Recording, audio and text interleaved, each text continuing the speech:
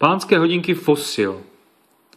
Tento japonský strojek je uložený v ocelovém pouzdře s kovovým tahem, patentní ocelovou sponou,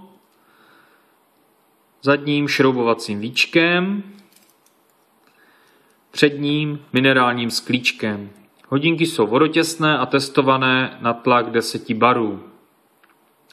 Uvnitř se nachází klasický hodinový strojek s zobrazením hodinové a minutové ručky, mimostředné sekundové ručky. Dále zde najdeme okénka pro datum, kde v tomto případě je na každou číslici zvlášť okénko. Číslice jsou velmi velké a čitelné. Další funkci zde najdeme stopky, kdy horním tlačítkem spustíme centrální sekundovou ručku a mimostřednou malou ručičku, která nám očítá desetiny sekundy.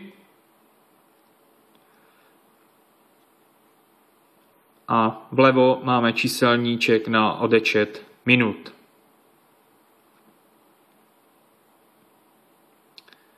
Po ukončení stopek mačkneme horní tlačítko a spodním vynulujeme.